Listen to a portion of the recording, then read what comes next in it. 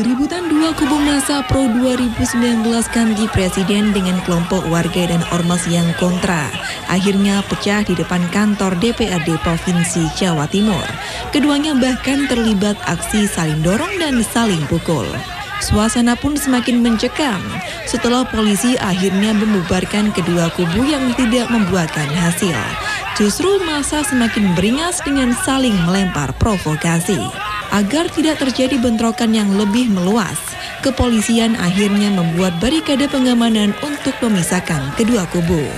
Setelah hampir dua jam melakukan aksi, Kapolres Sabes Surabaya akhirnya turun langsung untuk mencoba melakukan negosiasi agar kedua kubu membubarkan diri. Silakan Bapak Ibu sekalian, silakan kembali ke rumah masing-masing. Ya, kembali ke rumah masing-masing. Negosiasi akhirnya bisa dilakukan setelah masa aksi deklarasi ganti presiden bersedia menghentikan orasinya. Bahwa alhamdulillah sebagaimana kita lihat semua sudah berjalan seperti biasa lagi ya. Kendaraan sudah dapat berlaju ya, masyarakat sudah bisa beraktivitas. Ini dapat dikatakan bahwa semua sudah sebagaimana biasanya. Kota Surabaya aman kondusif.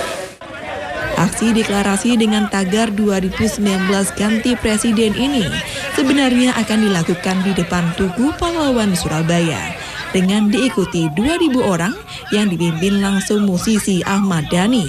Kegiatan tersebut akhirnya batal digelar dan berpindah di depan DPRD Jawa Timur setelah mendapat penolakan dari kelompok warga dan ormas.